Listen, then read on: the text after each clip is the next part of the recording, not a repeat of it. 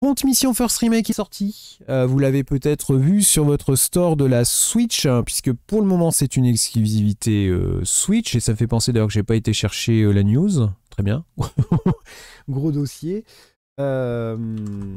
J'y vais de Spa, vous ne voyez rien, évidemment tout est, tout est préparé, puisque la news, c'est qu'en fait, une fois qu'il était sorti sur, en démat, bah, ils ont annoncé qu'il allait avoir des versions boîte. Voilà, c'est quand même extraordinaire. Très bien joué. Alors je pensais même pas qu'ils avaient les moyens de faire ça. Alors j'imagine que les précommandes d'ailleurs permettent en partie de financer ça, puisqu'on rappelle. Alors je vais faire, je vais en profiter pour faire un petit point sur Front euh, Mission de manière euh, générale. Voilà, je suis sur le site, là c'est compliqué. Ah oui, le site est carrément... Alors, c'est le bordel, leur site. Hein. Oh là là, qu'est-ce qu'ils m'ont foutu euh, Alors, attendez. Je, vais reprendre la news calmement, hein. je, je me prépare. Le, site est imbuvable. Hein. Faut jamais faire ça comme site. Euh, alors, attends. Où c'est que je trouve ce qui m'intéresse? Oh là là, tu m'étonnes, le site il, rame comme c'est pas permis parce que oui, je vois pourquoi il rame, vu comment il est fait. Alors, est-ce que je trouve ce qui m'intéresse ou pas du tout? N'allez pas sur le site, hein, c'est une catastrophe. ce site, oh là oh là, je n'arrive pas à l'ouvrir tellement il est merdique. Faut, faut l'alléger, messieurs, hein, faut... Faut faire quelque chose, hein. Voilà, je crois que j'ai trouvé ce qui m'intéressait. Voilà. Là, ça on dit au revoir.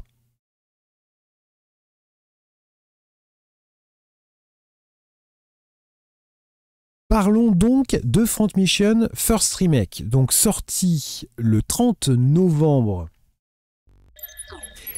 2022 sur Switch. Pour le moment, une exclusivité euh, Switch. Hein. donc, il s'agit d'un remake d'un jeu de 1995, à la base développé par euh, J-Craft euh, pour Square Enix, enfin pour Squaresoft, plus exactement, parce qu'en 95 il n'y avait pas la, fusion. Et là, le remake est donc assuré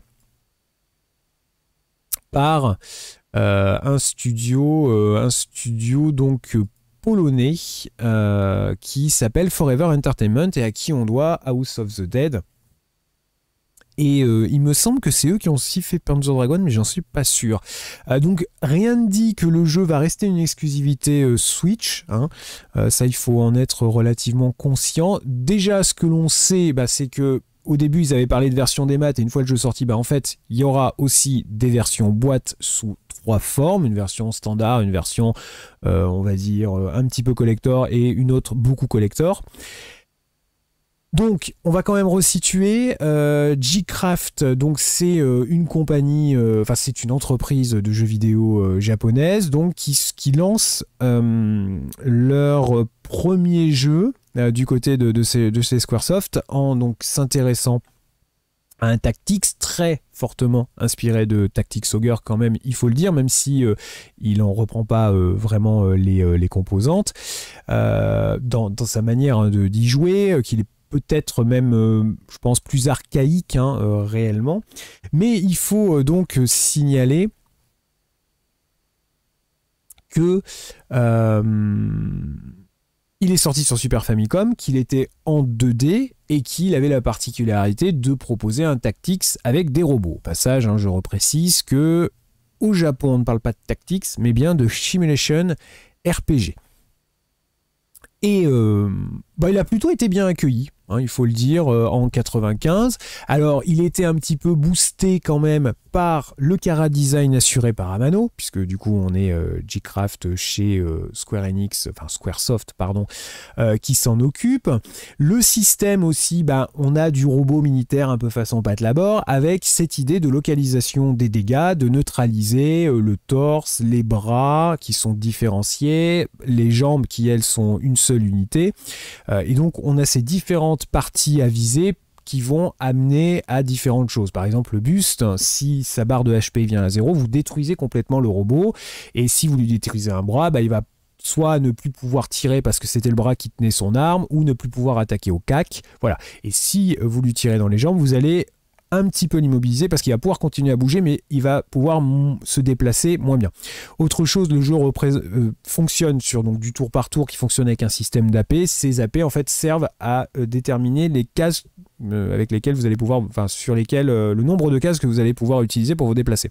Sachant que des fois, bah, vous pouvez avoir un tour, vous avez mal calculé votre coup et du coup, vous n'avez pas suffisamment évidemment d'AP pour atteindre votre adversaire, ce qui est un peu problématique dans ce Front Mission parce que si vous avez peut-être joué à un autre Front Mission qui chez nous a débarqué avec le 3 et qui a quand même changé les règles et beaucoup plus facile d'accès.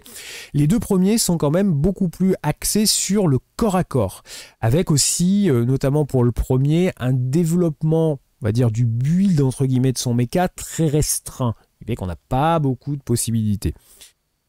Ça, c'était ce qui composait euh, voilà, le, jeu. Mais surtout, il s'est fait quand même remarquer, je pense, par sa DA. Là, le remake bah, a fait un choix 3D. Donc, c'est-à-dire qu'il a opté pour ce qui est devenu plutôt la norme chez Front Mission, puisque dès le 2, euh, il était euh, en 3D. Hein, donc, ils avaient fait le choix de passer tout à la 3D, euh, ce qu'ils auraient pu faire d'ailleurs euh, plus tôt, parce que ce qu'il faut indiquer, c'est qu'il y a quand même eu, alors G-Craft aussi, alors il faut expliquer pourquoi il y a eu un tel temps, c'est-à-dire que donc il y a le premier qui sort en 95, mais par exemple ils vont décider de faire une adaptation du, du 1 sur PlayStation qu'en 2003.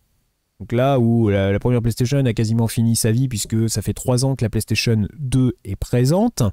Euh, et je me souviens plus quand est-ce qu'est sorti euh, le, 2, mais il me semble qu'il y a eu une petite, euh, latence entre le, le 1 et le 2.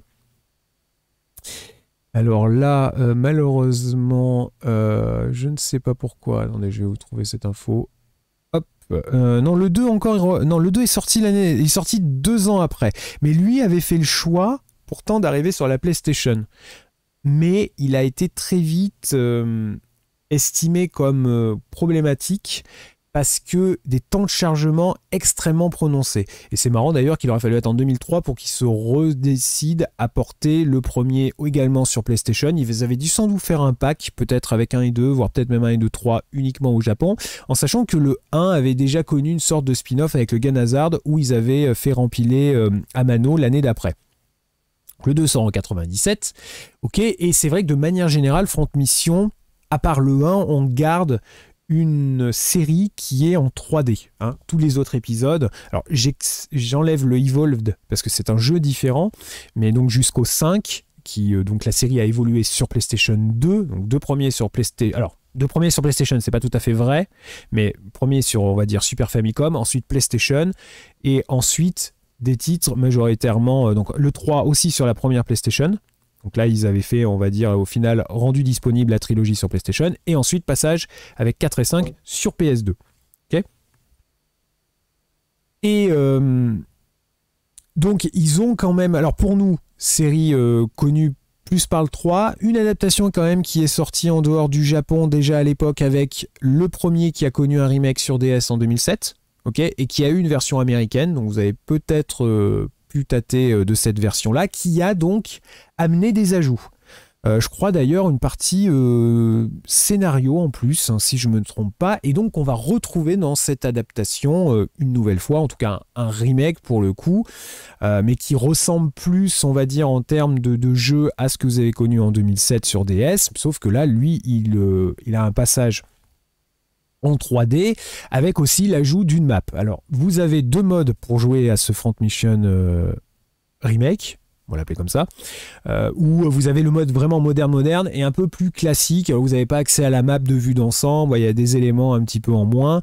Euh, voilà, donc là il y a des choses qui ont été remaniées dans les deux cas, mais il y en a une qui est encore un petit peu plus moderne. Mais toutefois, des échos hein, que j'ai lus, alors notamment que ça soit sur Kotaku ou d'autres, le jeu est resté évidemment avec sa base de gameplay et n'a peut-être même pas connu de modification du gameplay comme on a pu le connaître notamment sur Tactics Reborn. Alors là où il y a eu plusieurs déjà remaniements, mais là on reste quand même assez proche du jeu original. Donc attention, ça veut dire jeu très dur. Parce qu'il faut euh, aussi peut-être préciser que les deux premiers épisodes sont assez costauds. Et euh, ensuite, ça va un petit peu mieux, euh, surtout sur le 3. Le 3 est sans doute considéré peut-être comme le plus facile de la série. Après, ils se sont, ils sont partis dans un nouveau système avec le 4, mais qui était peut-être sans doute très compliqué. Et le 5 a un petit peu amélioré tout ça. Voilà. Et pour beaucoup, d'ailleurs, le 5 est estimé comme le meilleur. Malheureusement, pour nous, le 5 n'est sorti qu'au Japon. Autant le 4 a eu une version américaine, autant le 5, lui, est resté full japonais. Voilà. Alors, dans le premier, en full japonais, c'était pas trop dérangeant puisque il y avait des euh, choses dans l'interface qui étaient restées en anglais, enfin qui étaient en anglais de base, parce que voilà, ils étaient partis avec l'idée, ah, c'est des mechas, on est dans un monde. Alors, c'est pas un monde futuriste, mais vous savez, c'est un monde, c'est un peu comme dans s Combat, c'est un monde qui ressemble vaguement à nos continents et l'organisation euh, mondiale euh, des différents territoires, mais pas tout à fait. Et évidemment, il y a des conflits. donc c'est un peu cette idée-là. donc on va suivre évidemment. Alors avec quelque chose d'assez noir. Hein. alors en plus évidemment aidé par les traits d'Amano.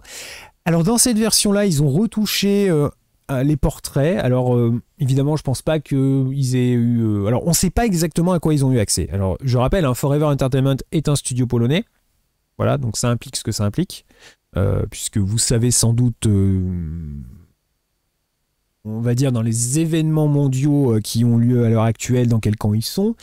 Euh, donc euh, voilà, sachez-le, hein, c'est important de le signaler. Ça veut dire aussi quand même que ça reste un petit développeur qui fait principalement du portage. On ne sait pas quels moyens ils ont eu. Alors, il reste le logo Square Enix, mais visiblement Square, Squaresoft, aujourd'hui Square Enix, c'était juste pour le nom de droit d'exploitation de Front Mission. Ils n'y ont a priori pas touché. On ne sait pas ce qu'ils leur ont donné comme euh, matière première pour travailler sur ce jeu. Ça, euh, je, ne sais pas. Alors, est-ce qu'ils l'ont expliqué? Comment ils ont travaillé? Est-ce qu'ils ont fait du rétro-engineering Je ne sais pas trop avec quelle idée ils sont partis. Est-ce qu'ils sont partis d'un autre épisode et euh, ils ont adapté par rapport à celui-là? Pour retrouver évidemment l'expérience du premier. à signaler aussi qu'il n'y avait pas comme Kamano qui a travaillé euh, comme star hein, sur le, premier Front Mission. Il y a également quelqu'un qui va vous dire quelque chose à la musique, Yuko euh, Shimomura, alors évidemment très connu pour Street Fighter 2, beaucoup plus, euh, alors plein plein évidemment d'énormes bandes son, hein, mais plus récemment peut-être FF15 et on imagine pareil que là elle n'a pas retravaillé sur ce titre hein, pour les musiques. Alors tout ça, on sait pas trop parce que comme vous avez pu voir, il n'y a pas eu beaucoup de couverture sur le jeu. On s'en fiche un petit peu. Hein. C'est comme euh, quand ils avaient ressorti House of the, of the Dead ou quand ils avaient fait aussi, il y a eu des remakes par exemple de Panzer Dragoon. Bon, on s'en fiche un petit peu. Mais euh, voilà, soyez quand même prévenus. C'est-à-dire que Front Mission, c'est vraiment une série à l'ancienne. Alors ça reprend aussi, euh, vous savez, ces euh, cutscenes animées quand vous lancez une attaque, hein, qui sont très populaires dans Super Robot Tyson, mais déjà présentes dans Shining Force et dans Fire Emblem, mais avec des mechas. Voilà. Et c'est je crois que c'est un des seuls représentants, en tout cas c'est le premier représentant de, de Simulation RPG ou de Tactical avec des mechas. Euh, il en est venu d'autres après, hein, puisque vous, vous, souvenez peut-être que, que Zone Ender s'est passé aux Tactics. On a eu le très récent Into the Breach. Donc voilà, alors qui n'est pas vraiment considéré comme un Simulation RPG puisque euh, il n'a pas de partie euh, stat lui pour le coup. Hein. il fonctionne avec les mécaniques, mais par contre il part un peu autre chose et c'est aussi un rogue. Donc euh, voilà, il est, il, est, euh, il est un peu à cheval entre différents euh, genres de jeux, mais il n'est pas dans ce qu'on appelle le tactics classique. il est donc voilà dispo sur Switch. Il bénéficie pour son lancement d'une petite réduction, sachant qu'il est quand même vendu assez cher. Il est vendu 35 euros parce que bon là pour le coup ils ont refait quand même le jeu. Là, on ne peut pas leur, euh, leur, reprocher, même s'ils ont gardé le gameplay. Euh, alors en proposant évidemment les spécificités qui avaient été ajoutées pour la version DS. Il bénéficie là d'une réduction qui doit le, faire grosso modo autour de 30 euros en démat. Mais sachez qu'il va donc avoir une version boîte euh, donc, qui a été annoncé par Forever Entertainment. Alors, je ne sais pas à quelle date exactement. Moi, j'ai découvert euh, son annonce que très très récemment. Euh, donc, une version boîte, uniquement pour la Switch. Hein, on reste que sur de la Switch. on va dire donc à 45 euros pour avoir la version boîte avec un petit quelque chose. il elle s'est pas vendue seule. Hein. il me semble qu'il y a un petit guide avec. une version un petit peu plus étoffée qui rajoute notamment des pins si ma mémoire est bonne. Et la version donc à 65 euros. Il n'y a pas que des pins. Hein. on va peut-être aller voir le détail si vous êtes intéressé, parce que je je me souviens plus comme ça. Et l'autre version qui rajoute une sorte de statuette, on va dire. Donc ça, c'est la version, alors la toute première version à 45 euros, qui est le prix un peu habituel des jeux boîte. Donc vous avez des cartes postales, comme on en trouve, des, illustrés, illustrés Front Mission, et un petit bouquin qui vous explique l'univers de 16 pages, euh, en 16 pages, qui vous explique l'univers de Front Mission. Ok? Alors, il n'y a pas de date hein, pour ces jeux, parce que pour le moment, euh, en fait, euh, c'est euh, du pré-order. et ça va être en fonction de, nombre de pré-orders qui vont. Ça, se trouve, il y a des versions qui verront même pas le jour. Hein. Moi, je me pose la question. voilà, surtout que vous imaginez que pour acheminer ça de la Pologne, c'est pas gagné. Et en plus, je sais pas où ils font fabriquer ça d'ailleurs, entre parenthèses. La version intermédiaire à 65 euros, voilà, donc là qui va rajouter, en plus de ce que j'ai déjà énuméré, le steelbook, une boîte collector autour de ça. Il y a le jeu hein, dedans en version physique avec une jaquette réversible. Alors, je crois que c'est aussi le cas du jeu de base. Hein. C'est juste que je ne l'ai pas précisé. La jaquette est réversible dans. Je crois. Ah non, elle l'est pas? Si, elle est réversible, évidemment qu'elle est. Et les pins. En métal. Voilà. Avec les Wanzer. Alors oui, j'ai pas précisé, hein, vous incarnez un personnage, les robots dans Front Mission s'appellent des Wanzer. qui est un mélange avec. En fait, c'est Wanzer Panzer la vraie définition, tout le, monde, enfin, le vrai nom des robots, tout le monde l'appelle ça des Wanzer. Il y a eu d'ailleurs beaucoup de, collections de jouets, vous vous en doutez. Je crois d'ailleurs qu'ils en rééditent, mais il y a eu beaucoup de jouets assez stylés, notamment euh, concernant le 3 chez Artefix, euh, où euh, bah, les mechas avaient connu leur adaptation avec des petites figurines ouais, d'une taille correcte, la taille des Bringards, je pense. je sais pas la taille, c'est un du 1 12e, je vois. Peut-être un peu, un peu moins, enfin un peu plus petit que ça et la version donc méga collector, euh, la version vous jetez les billets par les fenêtres, la version Daboons, comme on dit. Donc pour 130 euh, Daboons, vous avez euh, donc la possibilité là d'avoir une boîte encore plus exclusive et vous voyez une résine diorama à peindre vous-même, hein, parce qu'ils n'ont plus l'argent pour mettre, euh, évidemment, après tout ce qui est passé, il n'y a plus l'argent pour la peinture. Donc voilà, vous pourrez euh, la peindre comme vous voulez, hein, si vous êtes euh, spécialiste en diorama, et vous retrouvez évidemment les mêmes choses que ce qu'il y a avant, sauf les pins. les pins sont disparus, tout est passé dans la résine. Voilà, donc pour 130 daboons. Euh... Voilà ce qu'on peut dire pour ces versions-là, si vous êtes intéressé. Mais voilà, sachez juste que euh, bah, si vous vous demandez, il existe bien des versions boîte, de euh, Front Mission First Remake. À l'heure actuelle, j'ai pas craqué, même si le jeu me fait envie, mais alors je sais que le jeu est très très dur, et pour le coup, ça serait peut-être pas pour le streamer, ou alors si je le stream, il faudrait que j'y joué une fois avant, parce que je sais que celui-ci, il est coton. Euh, alors je parle évidemment je parle de la version des maths. Hein. vous me doutez bien que moi je ne craque pas pour les versions euh, boîtes parce que j'en ai un peu rien à faire. Ça fait du plastique un peu partout.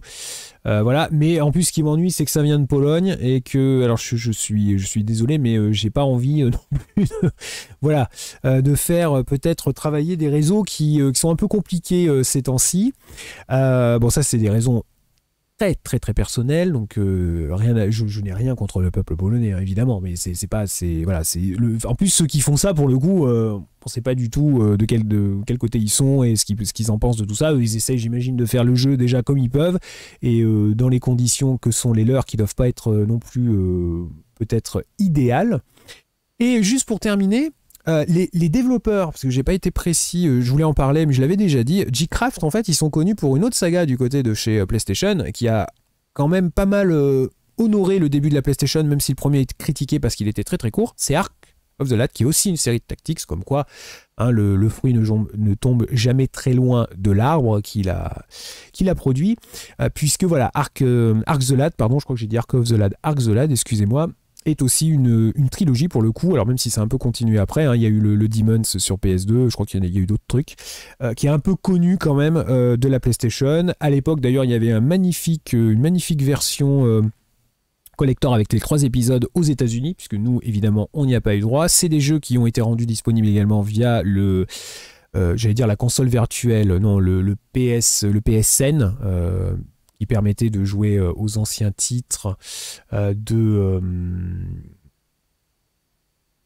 euh, Sony et évidemment c'était un jeu qui était là pour aider Sony donc pendant sa sa, période du début de G-Craft, c'est vrai qu'ils ont pas mal travaillé auprès de Sony pour faire plutôt du simulation RPG. Voilà ce qu'on pouvait dire sur ce Front Mission euh, remake. Euh, alors craquera, craquera pas, ça n'a pas l'air d'être à l'ordre du jour pour le, pour le moment. Euh, le jeu aussi visiblement a quand même des chargements. Hein, le passage à la 3D et sur Switch n'a pas spécialement aidé. Il y a quand même quelques petits temps de chargement. et après, bah voilà, on a encore que peu de retours sur ce titre parce que malheureusement il va passer à la trappe.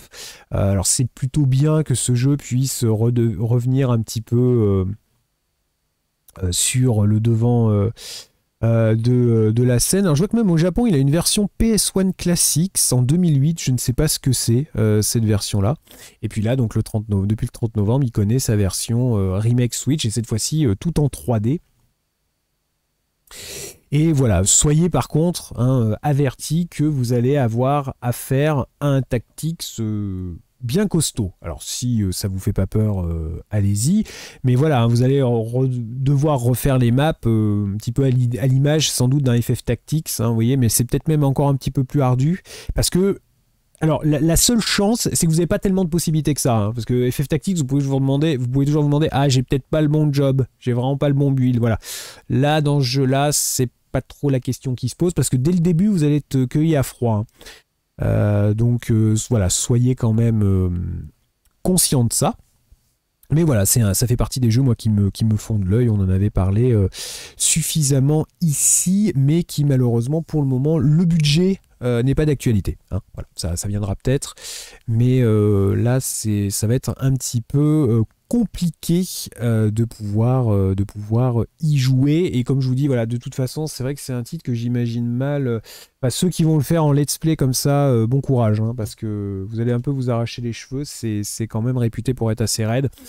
Quitte à faire, voilà, moi je vous conseille, si vous voulez découvrir quand même la, la saga Front Mission, le 3, hein, le 3, vous allez trouver ça sur le PSN américain. C'est encore accessible aujourd'hui. Vous pourrez même y jouer sur votre Vita.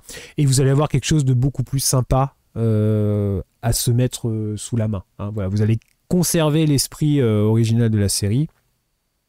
Enfin, entre guillemets, l'ambiance, l'univers, en tout cas. En plus, il y avait ce faux, euh, ce faux web euh, sur la version euh, qui, je crois, qui avait été introduite dans le 2, mais qui est complètement exploitable et sur laquelle on va naviguer, alors qui, qui fait des phases d'exploration un peu étranges, puisqu'en fait, on navigue sur le web pour progresser dans son aventure. Il y a aussi pas mal de blabla. Hein, soyez pas surpris dans le 3, c'est pas aussi sec en termes de, dialogue, enfin aussi rapide que ce qu'on a par exemple dans Tactics Ogre. Alors on n'est pas de l'ordre de Triangle Strategy, mais c'est un peu plus étoffé. Donc, euh, mais c'est vrai que plutôt, hein, quitte à découvrir cette série, passer par le 3. Et après, bah voilà, si peut-être que vous allez euh, apprécier. Euh, et bah, déjà, il faut aimer les mechas. Hein, mais si vous aimez les mechas, je pense que vous trouverez encore, vous prendrez peut-être encore plus votre pied. Avec Super Robot Tyson parce que là il y a beaucoup de licences qui vont faire écho à une certaine nostalgie. Vous avez envie de découvrir ici, évidemment, dans Front Mission, euh, c'est leur robot à eux, c'est leur histoire à eux. Euh, mais c'est sympa hein, parce que c'est un petit côté. Euh, vous savez, un peu œuvre futuriste, un peu d'anticipation de ces années 80. Enfin, là pour le coup, le 3 c'est 99, donc fin 90, début 2000. Donc ça renvoie aussi une période de l'animation japonaise, euh, même si c'est post Ghost in the Shell. Euh, voilà, c'est assez intéressant. Alors je me souviens pas, je me semble pas que ça soit un traitement cyberpunk, mais peut-être. Euh, mais là par contre, mes souvenirs me font défaut concernant vraiment le scénario de Front Mission 3. Mais c'est vrai que voilà, on est dans cette époque-là. Et aussi, euh, bah, souvenez-vous, hein, même si je sais pas, il pas sûr qu'il est facilement 3, mais il est sorti en France. Il y a une version pâle du 3 en fait, ce qui était euh, assez dingue parce que bah voilà, le, jeu on n'en avait jamais entendu parler nous.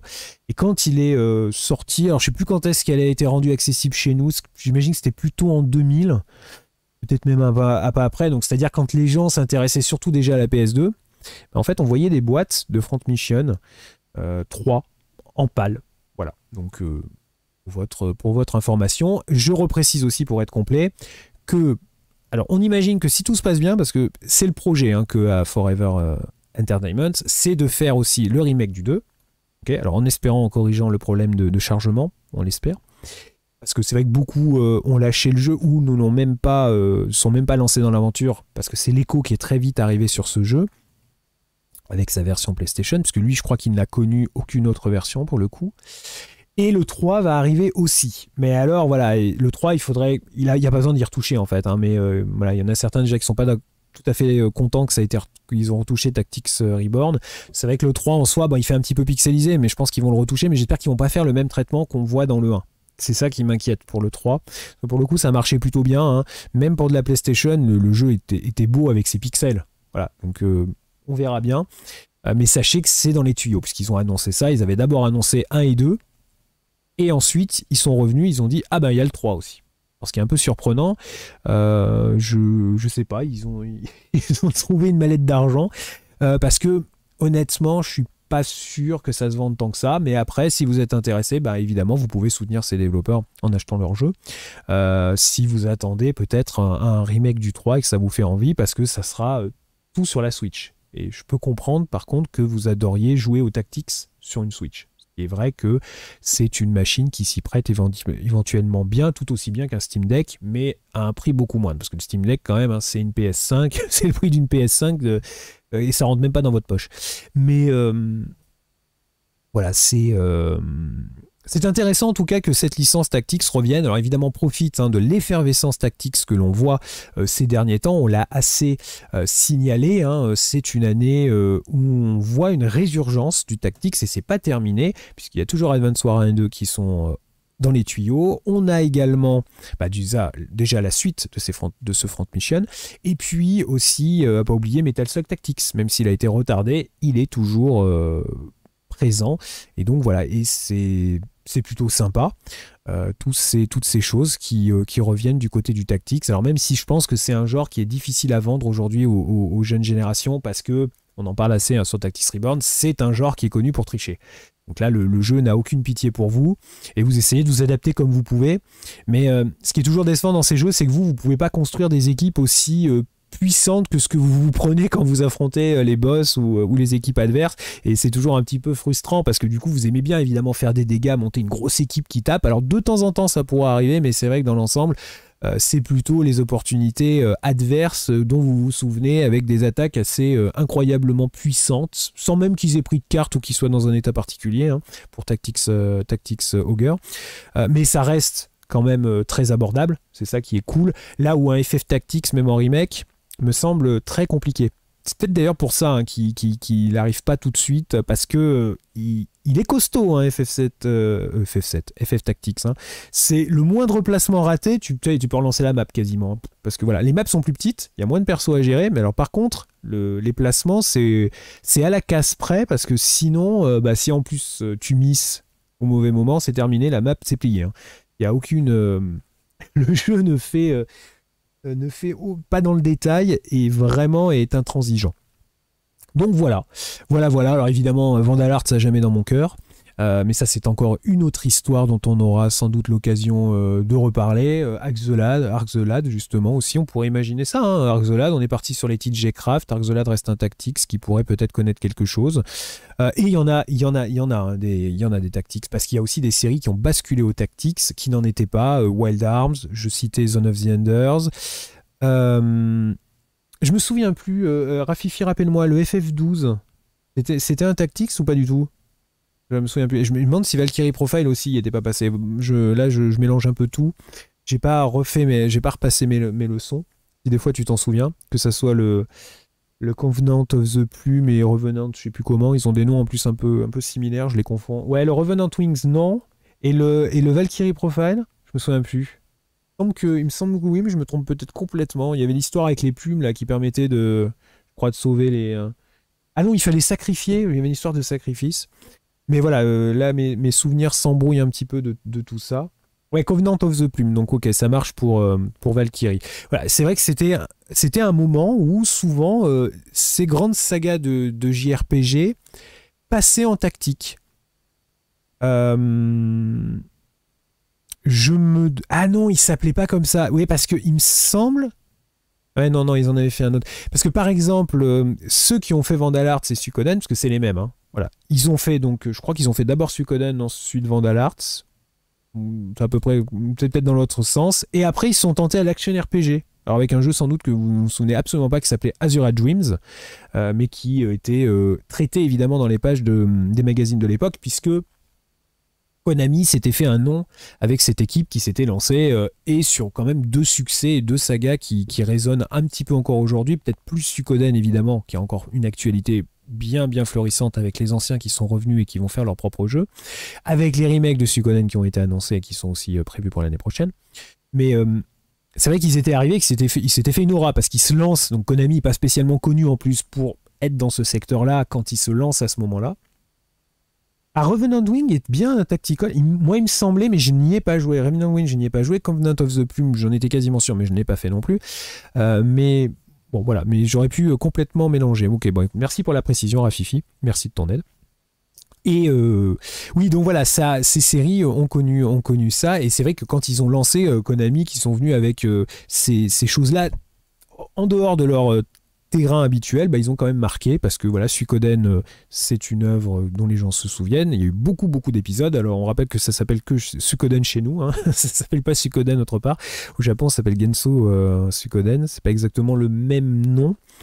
Euh, et donc après, voilà, il y a eu, enfin, il y a eu aussi après, à peu près au même moment, il se lance dans le Tactics avec Vandalart. C'est le premier Vandalart, c'est resté dans dans les, yeux de tout le monde, bah, pas mal. Le 2 en fait est assez différent. ils ont, c'était d'ailleurs en plus, ils prenaient des risques Hein, parce qu'ils sortent un 2 alors que le 1 était quand même assez bien marqué. Ils sortent un 2 qui est complètement différent, alors graphiquement un petit peu moins joli d'ailleurs et un peu plus terne, et en plus, mais qui était venu avec un système relativement inédit.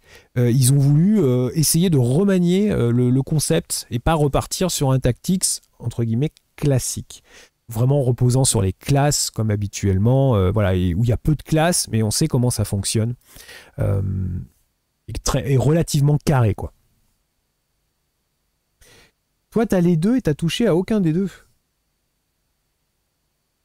Ouais, Covenant of the Plume, je sais qu'il vaut une blinde, mais euh, Revenant Wing, ah, je, savais pas qu'il. Revenant Wing, ça va, c'est accessible. Ah, ok. Tiens, faut que je le mette des fois sur ma liste de jeux. Euh. Ah, Covenant of the Plume, même, est-ce que même en japonais, il est intouchable?